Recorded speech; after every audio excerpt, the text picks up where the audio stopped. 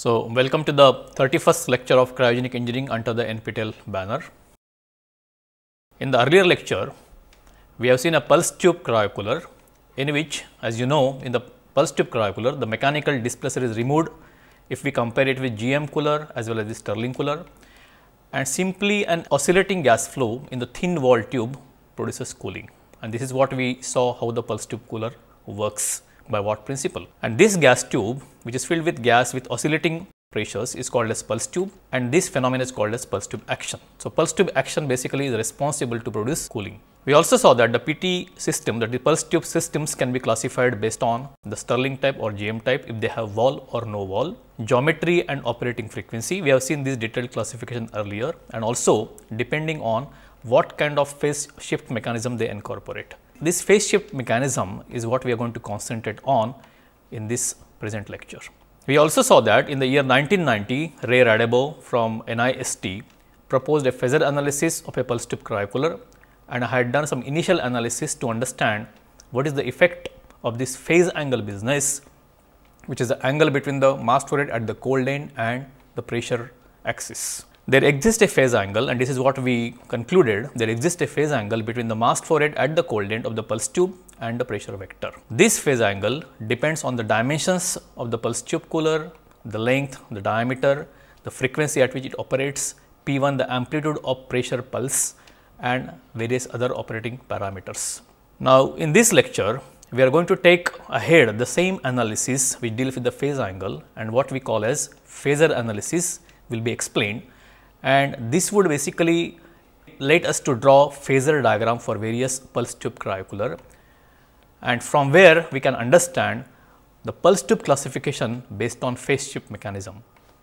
So, basically we, we can understand why this phase shift mechanism has to be employed in the pulse tube cryocooler and I told you in the previous lecture that this will be dealt with when we go with the analysis or when we go with the phasor diagram. So, these three aspects are very important aspect to understand different phase shift mechanisms that are employed in the pulse tube cryocooler and this lecture will be basically aimed at having these phasor diagrams and phasor analysis which is leading to different phase shift mechanisms. In brief repeat what we had done earlier and lead to a conclusion what is this phasor diagram and how does it come. So, this is a simple OPTC orifice pulse tube cooler where we can see a simple orifice opening at the hot end of the pulse tube cooler which opens in a reservoir.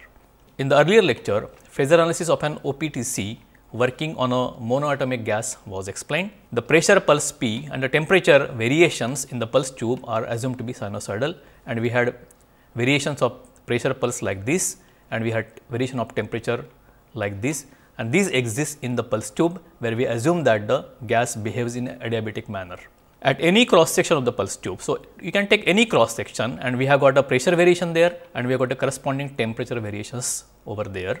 So, at any cross section of the pulse tube using the adiabatic law we had derived earlier that T1 upon T0 that means the amplitude of temperature variation to its mean temperature value and we were relating these temperature variations to the pressure variation at the same cross section. So, at any cross section we can see the temperature variation we can see a relationship between temperature variation and pressure variation using an adiabatic law. We had derived this earlier. The mass flow rates at the hot end and the orifice are equal and we had seen that m dot h is equal to m dot o in a OPTC. Mass flow rate through orifice is and we had calculated this as this m dot h into C1 P1 cos omega t, C1 P1 is the amplitude of the mass flow rate at the hot end or the mass flow rate through the orifice. We have also seen that the mass flow rate at the cold end which is m dot c can be given by this vector formulation. We know that m dot c is equal to some quantity basically this right hand side is nothing but the m dot h into T h by T c plus another vector which deals with the geometry of the pulse tube and which has an angle of pi by 2 between these two vectors. This will vectorially could be added. So, it is clear that vector m dot c is the sum of two vectors which are at 90 degree angle to each other and I can draw a vector diagram m dot c is equal to T h by T c into m dot h which is this quantity plus the vertical quantity which is equal to this parameter and this will give an angle theta between m dot c and the pressure axis or the pressure vector. So, plotting these two vectors we have the figure as shown here. This diagram is called as a phasor diagram of the pulse tube only not the pulse tube cryocooler. We are drawing the diagram only for this pulse tube hot end we can say hot end and the cold end because we are relating the mass flow rate at the cold end to the pressure vector and we are relating basically the mass flow rate at the cold end to the mass flow rate at the hot end. The hot end mass flow rate is in the same axis or is in, is in phase with the pressure axis or pressure vector. It is clear that there exists a phase angle between m dot c and pressure vector and the importance of phase angle is explained in this lecture. This is the point which we want to bring in over here.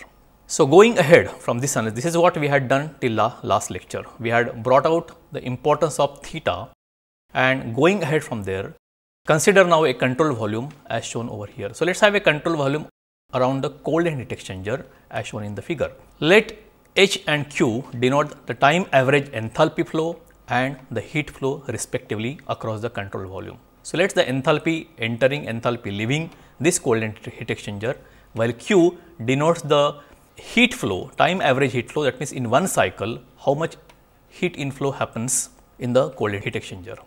So, if I do let us assume the following let HR be the average enthalpy flow in the regenerator from this side let HPT be the average enthalpy flow in the pulse tube. So, the cold end heat exchanger connects the regenerator and the pulse tube. So, the enthalpy which we receive from the regenerator side let it be HR and the enthalpy with which it leaves which with the gas leaves the cold end heat exchanger and enters the pulse tube let it be HPT and this is a average enthalpy flow in the one cycle okay and let QC be the average heat flow or the heat lifted at the cold end and this is nothing but the cooling effect or refrigeration effect. So, I have shown here QC basically. So, if I do a energy balance we have got HR coming in HPT leaving and QC entering the cold end heat exchanger. So, if I apply the first law of thermodynamics to this control volume we have got Q dot C which is the cooling effect is equal to whatever is leaving, whatever is entering that is HPT minus H dot R. All right. So, this is the enthalpy difference across the cold end heat exchanger and QC is nothing but the cooling effect. If the net heat energy stored by the regenerator in a cycle is 0, it is called as perfect regenerator. Now, let us see what this HR value is and let us define before that if the net heat energy stored by the regenerator in a cycle is 0. That means, when the gas travels through the regenerator, it gives the heat to the matrix and when gas comes back from the pulse tube during depressurization, it takes away heat from the matrix and the gas goes back to the compressor. So, we can say that in one cycle, the gas gives the heat and gas takes the heat and whatever it gives, if it takes back exactly all the amount it, if it takes back, then we can call it as perfect regeneration alright. Therefore, we can say that the heat energy lost by the gas during pressurization, if it is the same as the heat energy it gains during depressurization, right. During pressurization the gas will go through the regenerator and it will give the energy to the regenerator matrix and during depressurization the gas will go back to the compressor and during this travel it will take the heat from the matrix and if both these heat energies are same that means we are having a perfect regenerator all right.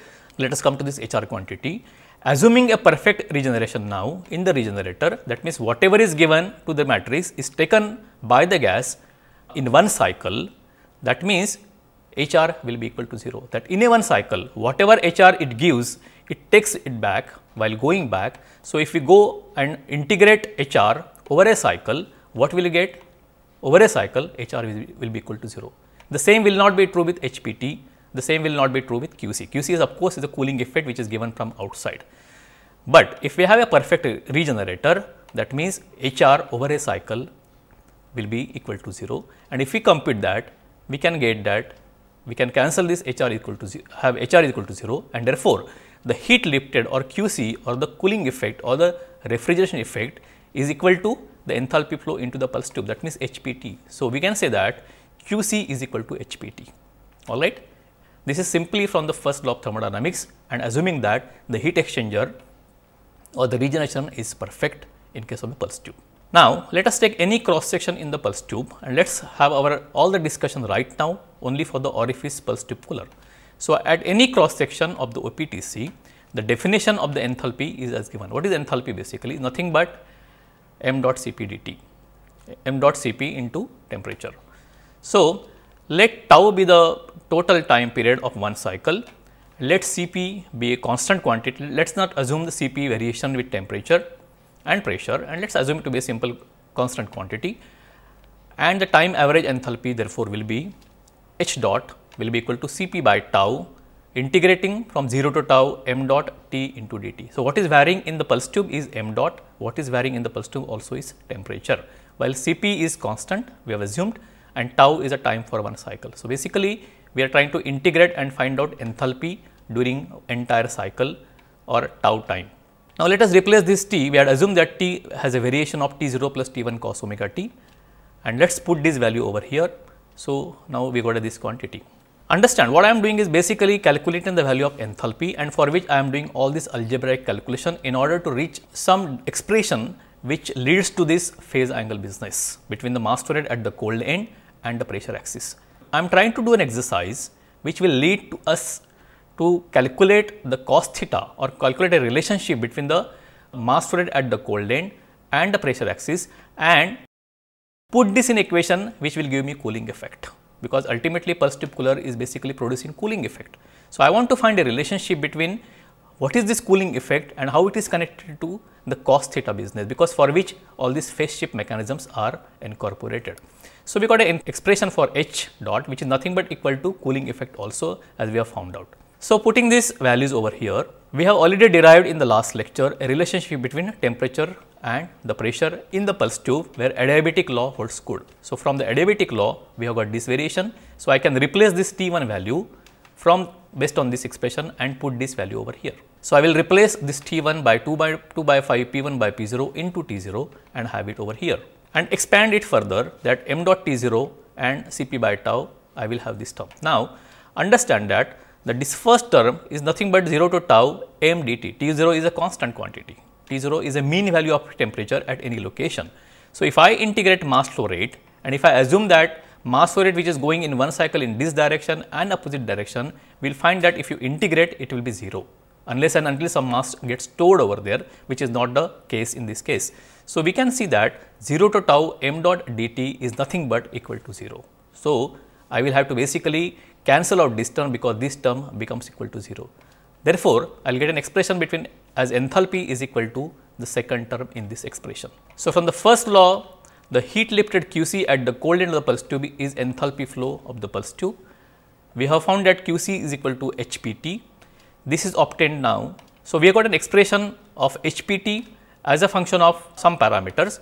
We know this HPT is equal to Q dot C and this Q dot C is the basically cold end of the pulse tube. So, now whatever mass flow rate expressions we have had there, whatever temperature we have had, we should replace that mass flow rate by m dot c and temperature by T c in the following equation. So, this is the equation, this is the equation which we have derived. In this now we have taken m dot and T 0. I will now have m dot as m, m dot c and T 0 as T c because we are talking about the cold end of the pulse tube cooler where the cooling effect is derived, right. This is we are talking the pulse tube at this cold end. So, therefore, replacing this mass flow rate by m dot c and temperature as T c, we will get the following expression. So, this is my expression now here. I got a m dot c, m dot c here and I got a temperature T c over here. Now, we have already calculated an expression for m dot c. This is what you require in a, this is the expression which connects theta business. So, m dot c is equal to some quantity which is depicting T h by T c into m h plus a function which is this which is at 90 degree to this. So, putting this value of m dot c in this expression I get a major big expression as 1 0 to tau sine 2 omega t and 0 to tau cos square omega t coming from multiplication of cos omega t and cos omega t over here. So, again we can find now all these thing if you take the first term here all these terms are, are basically constant terms and now you got a uh, you got an integration 0 to tau sine 2 omega t dt and we know that in the above equation, the first term come equal to 0. Why? This is because the sine function when integrated over one full cycle vanishes. So, basically you got a sine pulse like that and whatever area enclosed on the top is equal to area which is below and if you integrate therefore, in one cycle the sine 2 omega t will cease to exist, it will become equal to 0. Therefore, h that is equal to this quantity a cos cos square omega t term will appear over there. So, now I can write that cos square omega t is equal to 1 plus cos 2 omega 2 by simple trigonometry, I know that this is the parameter and now I will again split this expression into two part. Cancelling this Tc over here, I got this term and then integrating. So, 0 to tau into 1 dt which is what I will get over here and 0 to tau cos 2 omega t dt. Again by the same expression, if I have a cos to be integrated over a cycle, this expression again will vanish. In the similar way, we had sine 2 omega t as equal to 0 over integration over a cycle. So, we will have the same expression here. Here again the second term is 0. This is because the cosine function when integrated over one full cycle vanishes. And if I have 0 to tau dt, what I will here is tau, right. So, I get expression now h dot is equal to this into tau and therefore, tau and tau will get cancelled over here and one simple expression will come from here which is equal to C1 Cp Th P1 square into divided by 5 P0. So, my time average enthalpy will come like this. Now, let us see what is this C1 into P1 is. We know that the mass flow rate at the hot end m dot h is a vector. We have calculated an expression for m dot h which is the mass flow rate at the hot end and we know that m dot h is equal to C1 P1 cos omega t. So, can you find that the magnitude of m dot h is nothing but C1 P1 all right. So, magnitude of C1 m, m dot h is nothing but C1 P1 and here we got a term C1 P1 in fact we got a P1 square and if we take one P1 from here we got a C1 P1 and that can be replaced by m dot h over here.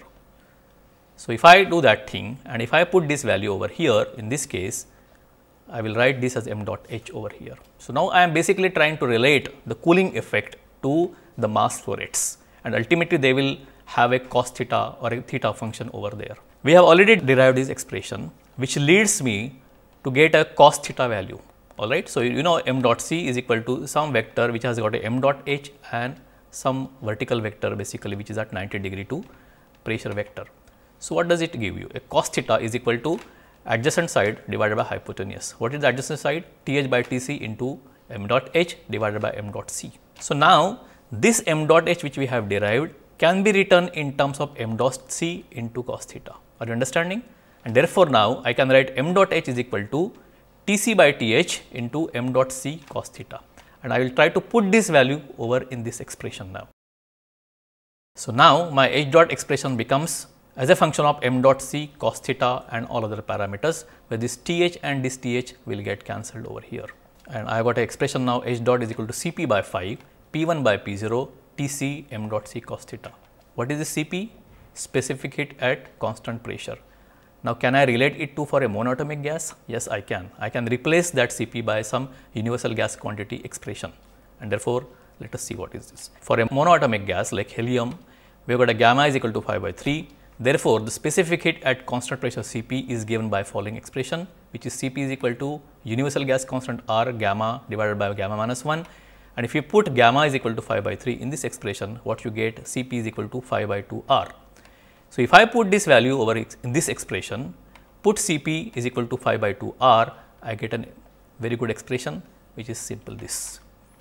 So, now we know that this enthalpy is nothing but cooling effect this enthalpy is nothing but refrigeration effect Q dot C is equal to H dot is equal to half R T C into P 1 by P 0 into m dot C cos theta.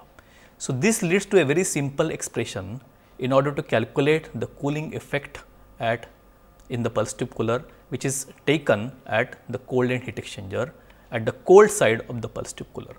So, on what parameters this Q dot C will depend? Let us see this. So, this is my expression. From the adjacent equation, it is clear that the heat lifted at the cold end QC depends on m dot C, quite obvious Q dot C depends on m dot C, quite obvious it depends on P 1 by P 0, T c and phase angle which is cos theta. R is universal gas constant, so no problem over this. Now, can you relate this? A cooling effect definitely depends on mass flow rate that is m dot c. If you increase m dot c, you will get higher cooling effect which is absolutely true with any refrigerator. Similarly, it depends on the P1 by P0 that means your amplitude of pressure should be very very large as compared to the mean value. So, this is also clear because this will increase the pressure ratio and as soon as the pressure ratio is very large P max by P, P minimum is very very large the cooling effect that means the PV area in the expansion space is going to be more and therefore cooling effect is going to be more. So, I can understand that QC is directly dependent on m dot c, QC is directly dependent on P1 by P0 At the same time, I know that if my cooling cold head temperature goes on increasing, I can get more and more cooling effect. So, if I got a cooling effect at 80 Kelvin, I will definitely get more cooling effect at 100 Kelvin or 150 Kelvin. So, if Tc increases, I will get more and more cooling effect. What is important is the last parameter cos theta. My Qc is going to be more when cos theta is going to be more and more. So, what is the maximum value of cos theta? Equal to 1. That means, I should have cos theta equal to 1, which means I should have, I should try the design in such a way that theta is equal to 0 or theta is tending towards 0. So, I should have theta to be as small as quantity so that my cos theta quantity goes on increasing for a given m dot c.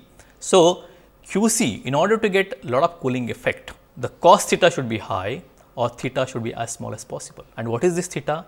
Theta is the angle between the mass flow rate at the cold end of the pulse tube and the pressure axis. Alright, this is the general terminology. m dot h happens to be in phase for OPTC all right for a orifice pulse tube cooler. But in general I should make a statement that theta is the angle between mass flow rate at the cold end of the pulse tube and the pressure axis or the pressure vector. This angle should be as small as possible and in order that we want to have this angle as small as possible, we have to incorporate various phase shift mechanisms. So, the objective of phase shift mechanism is basically aim at making this phase angle to be as small as possible. So, that the cos theta is going to be maximum. So, that my q dot c is going to be maximum. So, for any given design, if I got complete design available and I fixed my operating parameter. So, I got a diameter of pulse tube, length of pulse tube, everything designed. So, that this parameter is already given to me. VPT is known to volume of the pulse tube is known to me, frequency is known to me, P1 is known to me, temperature I want to design for a particular cryocooler. What should I do? I would like to maximize my QC by making this phase angle as minimum or making this cos theta as maximum. So, this is now external parameter attached to the pulse tube which called as phase shift mechanism which should be designed in such a way that the cos theta that is the angle in the between the pulse tube uh, with mass flow at the cold end and the pressure vector should be as small as possible. So, various phase shift mechanisms have been developed in order to minimize the phase angle. So, a lot of research has happened in order to understand the importance of phase shift and what could this phase shift mechanism be, alright. And depending on that, we have got further classification of pulse tube, which is what we will deal with later. So, it is important to note that the phase angle can be minimized. For example, in OPTC, I can minimize this phase angle, I cannot make equal to 0 for OPTC because VPT is always going to be some finite quantity. So, as long as this expression is correct that m dot c is equal to this vector plus this vector and as long as this vector is going to be a finite quantity and as long as m dot h is going to lie on the pressure axis on the pressure vector as long as they are going to be in phase I cannot make this theta to be equal to 0. So, what I can do I can try to make this as small as possible by employing correct orifice opening. In OPTC I will have a correct orifice opening and therefore, which will make this theta to be as small as possible. So, it is important to note that the phase angle can be minimized and in certain cases, now we will study different mechanisms of phase shift mechanisms and in certain cases it can be made equal to 0 or also or very close to 0 also. Alright. So, understand that QC is a function of all these parameter which depends on cos theta, which depends on m dot c, P1 by P0 and Tc also. Based on this cos theta, uh, function of this cos theta, based on why do we have to reduce this uh, phase angle and what are the phase shift mechanisms that have to be employed in order to get more and more cooling effect from pulse tube. We have got further pulse tube classification and we have seen this pulse tube classification earlier which can be done based on Stirling type, GM type, geometry, frequency. But one of the parameters for Stirling type pulse tube cooler or GM type pulse tube cooler was also based on the phase shift mechanisms and I had that time said that I will talk about this later in detail although I had shown the names then. So, let us understand based on this phase shift mechanism what is the further classification. And you can see that there are further four parts one is a basic type pulse tube cooler which we say basic phase shift mechanism or we can call it basic type pulse tube cooler orifice type pulse tube cooler which we have already dealt with then we have got a inertance tube pulse tube cooler and also we have got a double inlet valve pulse tube cooler. Alright. So, these are four different types of phase shift mechanisms that are employed in addition to all these you know classification. So, this could be combination of U type and orifice, U type on inertance tube, U type and double inlet and things like that. So, as far as the phase shift mechanism that has to be employed in the pulse tube cooler, we have got these four different possibilities basic, orifice, inertance and double inlet. And now, depending on whatever diagram we had done, we have shown you the diagram of the pulse tube which was meant for only orifice because that was simple to understand. Now, let us draw the phasor diagram for pulse tube which are of basic type.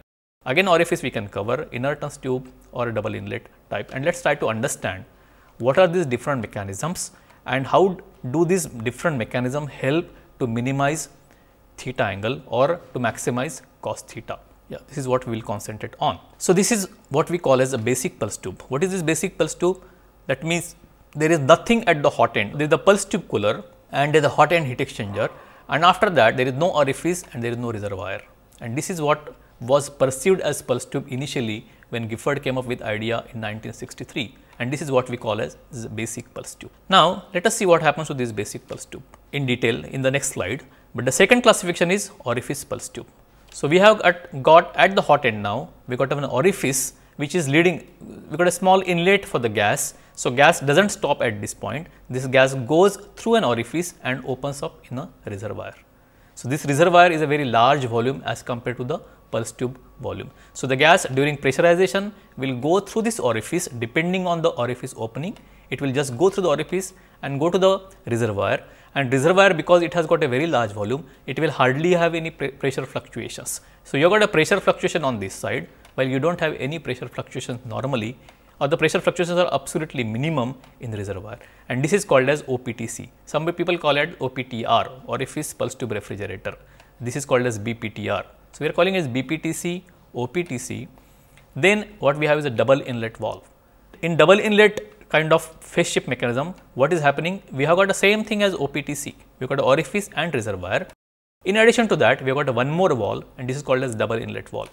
So, we can see that gas after compression before going entering the after cooler some pressurized gas is just taken off and it is allowed to join at the hot end in pulse tube cooler. So, this is it's joining at the hot end near the hot end after the pulse tube cooler after the hot end heat exchanger.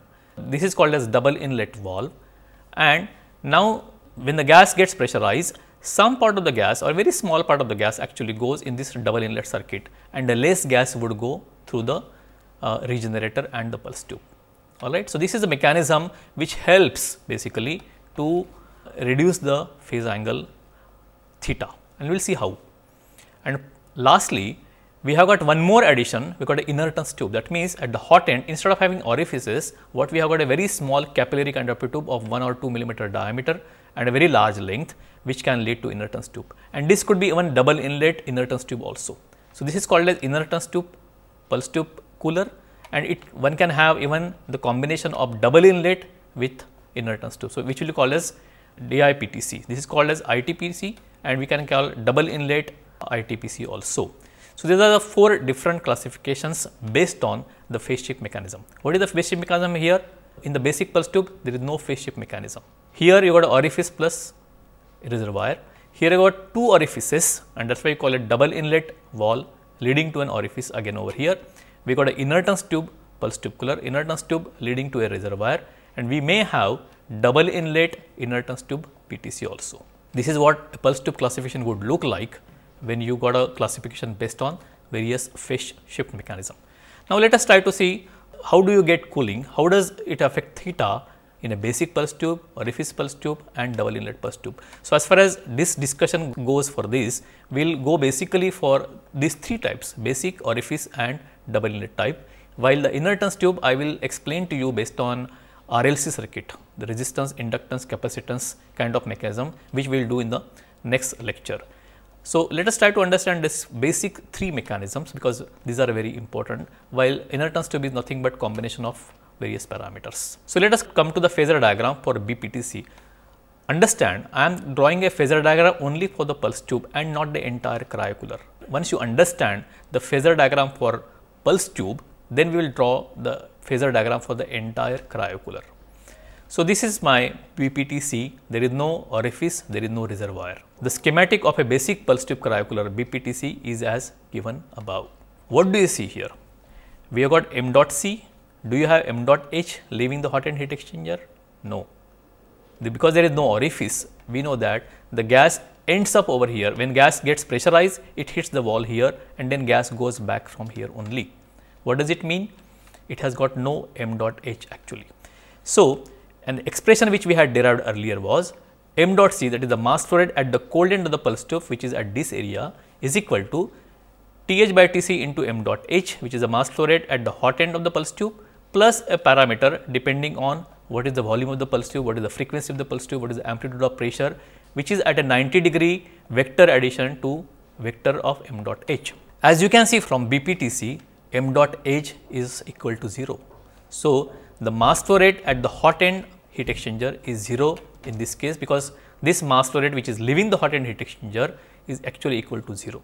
So, if I want to draw a phase diagram, I will say now m dot c is equal to only this quantity, while the second part is equal to 0.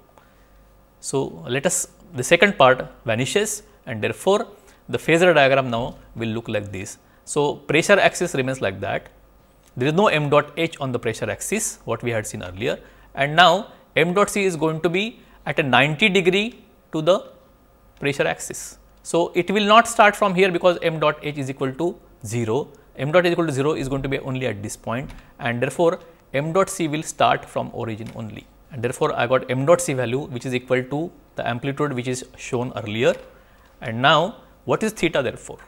The theta in this case is angle between as I defined earlier is an angle between m dot c that is the mass flow rate at the cold end of the pulse tube and the pressure.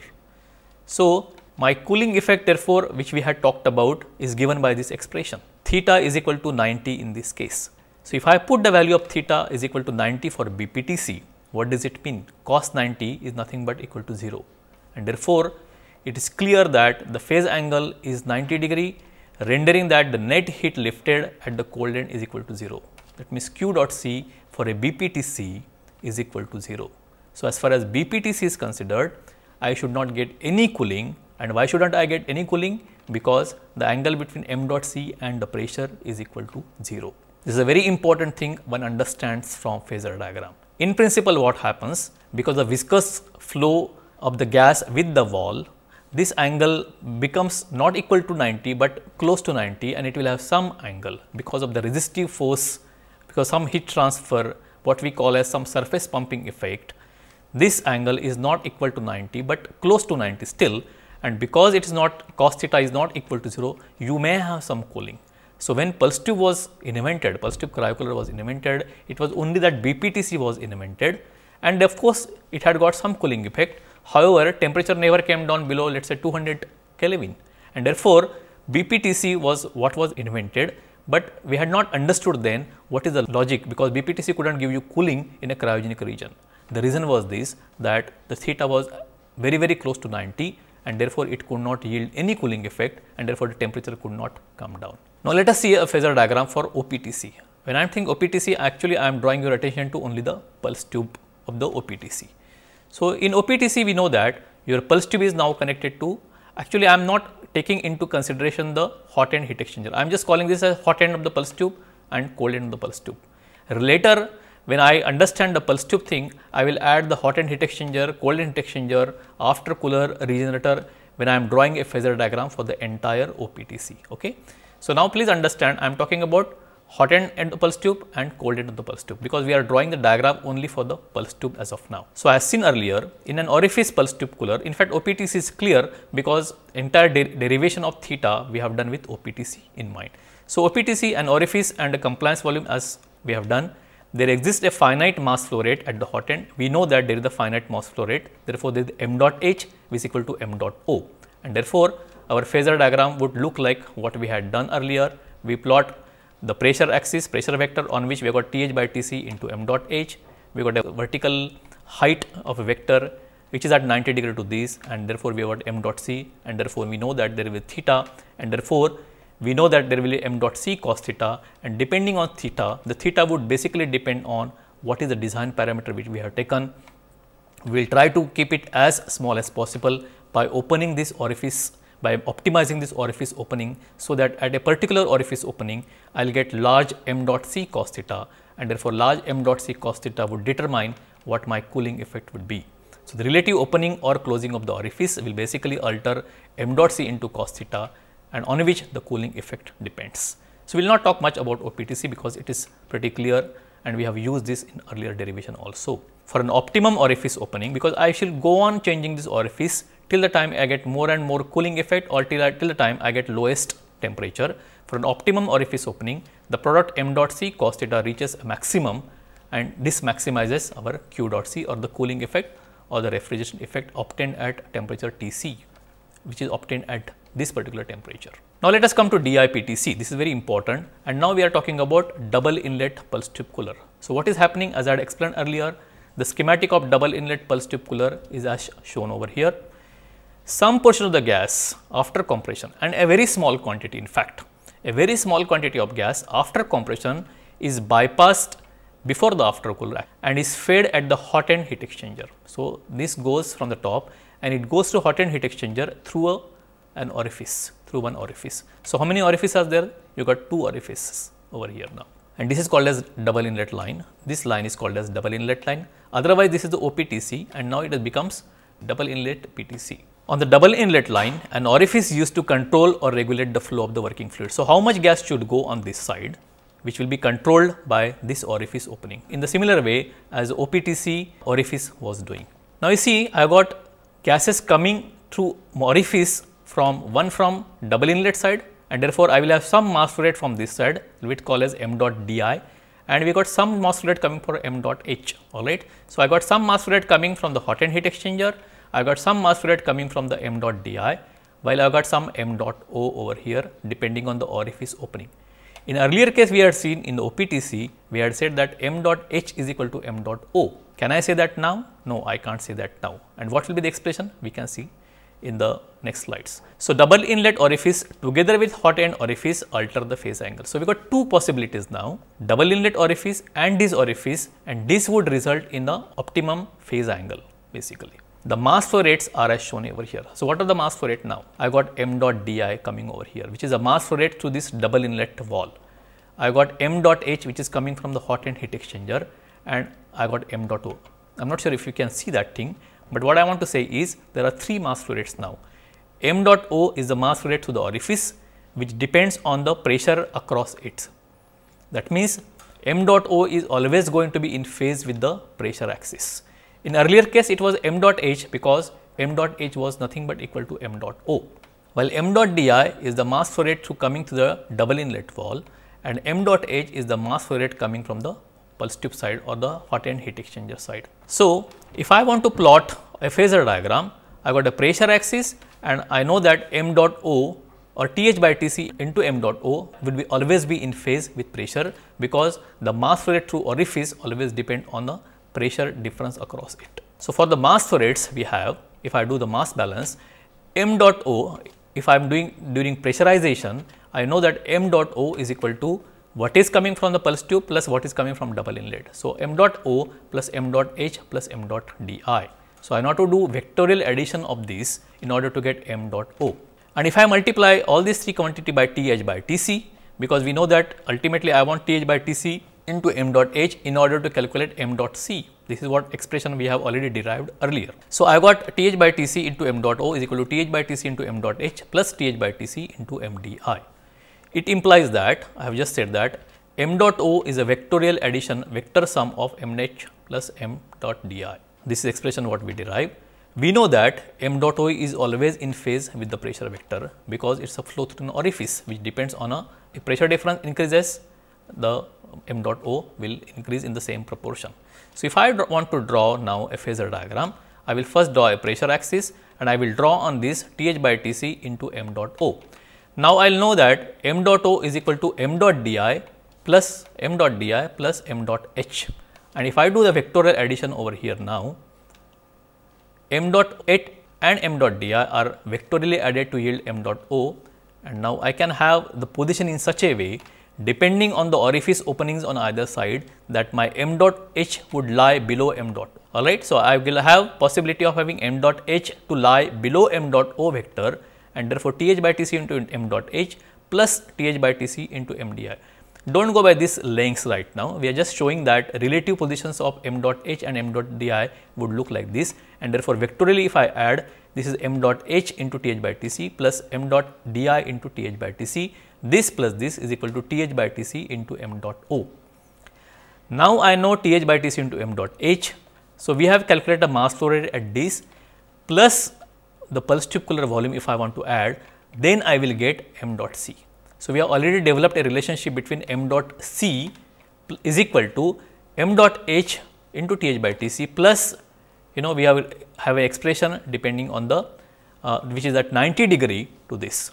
So, if I want to from the equation of m dot c now we have the other side of the triangle as shown in the figure. So, from here I will have omega p 1 into V p t divided by R t c gamma which is representing the adiabatic action in the pulse tube because the gamma figures over here and this is my vector quantity depending on V p t pressure omega etc drawing at 90 degree to the pressure pulse because they are at 90 degree to the pressure vector and this plus this vectorially added together will give me m dot c.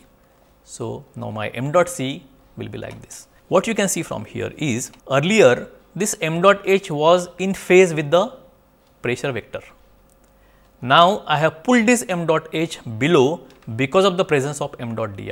As soon as I pull it pull it below this vertical quantity equal to this gets started from the point which is below this pressure vector because of which even m dot c gets pulled down and therefore, my theta which is the angle between m dot c and pressure also gets reduced. So, what is happening? Only be because we have incorporated a di valve because of the double inlet, because the double inlet orifice presence, I have got this vectorial addition which gives me m dot o because of which my m dot h gets pulled down below the pressure vector and therefore, as a result of which my theta which is this gets reduced as compared to if you see with OPTC. It is clear that the phase angle is reduced due to this modification and this is what basically the gist why this DIPTC is employed. The DIPTC will pull this m dot h down below the pressure vector because of which theta automatically will get reduced theta being the angle between m dot c and the pressure pulse. Please understand these three, three things, what, why we do not get cooling in the BPTC theoretically, why the phase angle for a double inlet PTC is going to be less than as compared to the OPTC and what is basic behind all that thing is, is basically this phasor diagram, alright. So, this is the phasor diagram for a double inlet PTC and as I just said, we have never taken into consideration the dead volume in the hot end heat exchanger, cold end heat exchanger, regenerator, aftercooler and now I would like to take all these parameters into consideration. So, what we can do is now extend this and in this pulse tube now, this is the diagram for a pulse tube, we can just add a cold end heat exchanger to this and see a change what happens if I add cold end heat exchanger to my phasor diagram, alright. So, till now we have done phasor diagram for BPTC, OPTC and DIPTC only for the pulse tube. I am adding one more component to this pulse tube to see how it alters the phase diagram and then we will derive the phasor diagram for the entire pulse tube cooler. So, phasor analysis. In the phasor analysis, we had assumed an adiabatic process in the pulse tube. So, as far as the pulse tube was concerned, we had adiabatic compression and expansion happening over here. While in the other elements, for example, in the connecting tube, this is my connecting tube, after cooler, cold end heat exchanger, regenerator, hot end heat exchanger, we are assuming the temperatures to be constant. So, we can assume the entire hot end heat exchanger to be at particular temperature. Regenerator, if I do slices, I got variation of regenerator temperature happening across the length like this or I can assume the entire regenerator to be at one fixed temperature also. So, we can assume this to be isothermal temperatures over here and for the sake of understanding, let us now analyze the cold end heat exchanger to the pulse tube. So, I am just taking this pulse tube, I am adding one cold end heat exchanger. Understand this pulse tube was happening, the processes were happening at adiabatic law, while here, it, it, here in this case it will be isothermal at a fixed temperature. The regenerator will be isothermal at a temperature TR, let us say AC will be at a particular temperature TR, some temperature after cooler. So, as done earlier, we will have pressure variations, but we will have temperature equal to T0. So, for example, T0 will be some, some temperature over here, some temperature TR over here. And let us understand if I want to do a mass balance at this, I got m dot RC entering this, I got m dot C leaving this and therefore, I got some m dot CHX that is a mass rate in the cold heat exchanger will be equal to m dot C minus m dot RC. From the earlier derivation now, if I go for an earlier derivation, I can do all this algebraic calculation which we have done and we can now see that m dot RC which is the mass flow rate at this thing and it is related to m dot C by this formulation. So, m dot RC is equal to m dot C plus a quantity which does not have a gamma here because this is not a adiabatic process. We had derived a similar expression for m dot C which is equal to m dot C which is equal to m dot H plus depending on the volume of the pulse tube, but which had a gamma in the bottom because it was having a adiabatic action. Please understand this. So, I am now calculating m dot RC if my m dot C is known to me. I have got a one more in a similar manner I got the same same expression. However, because this process in the cold end heat exchanger is happening is isothermal process, I will not have a gamma figuring out here. And if I do a phasor diagram for this, so m dot RC is equal to this plus this and I can put the value of m dot C which we have derived earlier. So, m dot C is basically this as m dot H. Putting this value of m dot c in this, I will get m dot r c is equal to cos pi by 2 T c by T h by T c m dot h and this is the quantity. So, this quantity depicts the volume of pulse tube, this quantity depicts the volume of heat exchanger which is at T c temperature. Therefore, the mass flow rate m dot r c is the sum of two vectors which is having a quantity of this plus this at a pi by 2 angle with m dot h. All right. So, now if I want to do phasor analysis to this, this is my normal phasor diagram for m dot c, where we have taken this quantity as over here. I will add to this quantity from the above equation it is clear that the first term is at 90 degree to the second term. Plotting these two vectors we have second quantity which depends on what is the volume of heat exchanger over here. And now this will give me m dot R c which is the mass flow rate of the regenerator at the cold end. And similarly, I will now have a regenerator volume, I will have a cooler volume, I will have a compressor volume and things like that. So, I got to add all these volumes over here in order to get the mass flow rate near the compressor. So, basically these vertical heights are nothing but representative of different volumes and temperatures associated with those volumes. So, omega p1 r gamma is remaining constant. What is this vertical height will represent? What is the volume of pulse tube divided by volume of pulse tube temperature. What is the volume of this heat exchanger divided by its temperature. Then comes the regenerator, then comes the after cooler, then comes the compressor. So, I have to basically derive this phase diagram for the entire pulse tube cooler in this way. And this is the way I have just shown an example how the cold heat exchanger is added to our earlier derived OPTC phasor diagram. So, m dot RC lies above m dot C vector this is due to the vector addition as shown in the figure. This is basically due to this vector addition as shown in the figure. Understand that the pulse tube has a gamma factor because the adiabatic action happening in the pulse tube while the heat exchanger assumed to be a isothermal process and therefore, there will no gamma figuring out this. In fact, only in the pulse tube we will have a adiabatic gamma shown up over here. So, if I want to show now as I said earlier I had not taken even the hot end heat exchanger, cold end heat exchanger I have to take all these into consideration I will have a same procedure to be followed out. I will incorporate the hot end heat exchanger and divided by TH over here. Then I will add the regenerator volume. So, this is up to m dot RC.